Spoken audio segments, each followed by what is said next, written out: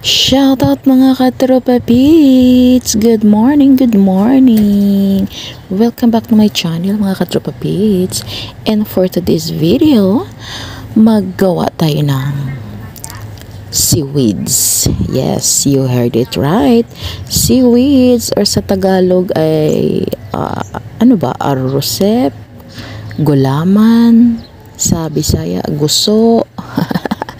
Ewan, ang daming pangalan. So, ayan, ang process is kailangan um, ilagay siya sa kumukulong tubig.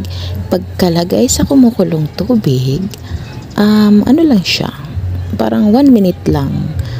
Wala pa ah, wala pa siyang one minute, tas papatayin mo na agad ang apoy and then tsaka mo siya um, halo-haloin hanggang sa makuha mo yung tamang texture ng seaweeds itself.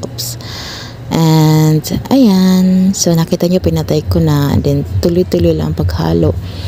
Ang, marami siyang benefits, ano, ah, most especially sa may mga goiter, ah, nakakatulong na kumain kayo ng seaweeds. And, I think there's a lot of benefits for seaweeds. Actually, hindi naman ako makain yan eh. Um, gusto ko lang gumawa kasi masarap daw eh. Pero hindi ko siya tinikman. Ewan, hindi kasi ako mahilig kumain ng mga something na ganito. Pero, marunong ako mag-prepare. Since bata pa ako, naalala ko yung lolo ko ay ah, kahit yung mga kilawin, mga kinilaw na mga isda, lahat marunong ako mag-prepare ng mga yan. Pero hindi ako makain. Ewan ko. Parang ang ano ko nga, eh, ito medyo carry, pero hindi talaga. ah, basta, ewan. pero marunong lang ako mag-prepare. So, ayan, pinapakita ko sa inyo kung paano ko siya ah, pin-repair. So, ayan, inalis ko na. Dahil maganda na yung texture niya, hindi na siya yung lasang dagat. Kasi, amoy dagat siya eh habang pinapakuluan. So, ayan, nag, kapag cut na ako ng ano, tomato, onion, and uh, the ginger and there's a three chili over there. I just add vinegar and salt and a little sugar. So ayan lang. Ganun lang siya kasimple. And base sa mga kumakain is masarap naman daw. Syempre hindi kasi ako kumakain. Ewan ko lang. Ignorante ako eh. Pero talagang ah yan, kamatis pwede kong kainin. Ewan, basta ignorante ang lola nyo sa pagdating sa mga raw foods. Nga, yung mga fresh na salad, ignorante pa ako sa mga yan. Pero marunong ako mag-prepare. Yan lang. Proud lang ako sa ganun.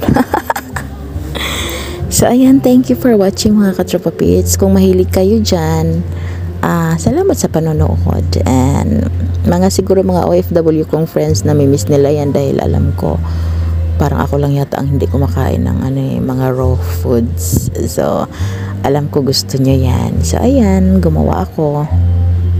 And, ayan, okay na yan ha, na, na-strain ko na yan.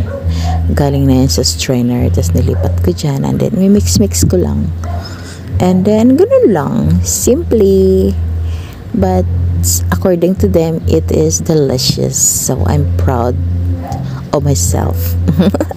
Thank you for watching mga katropa bits. I miss you all. Talaga lang ako um, ewan busy. Kagaya ngayon, ang daming video kaya habang nagre-record ako ng ano, voice message, 'di ba? Wala, tantaran. Ayan na po ang ating finished product. Have a good day everybody and God bless you all. Bye-bye. Thank you for watching.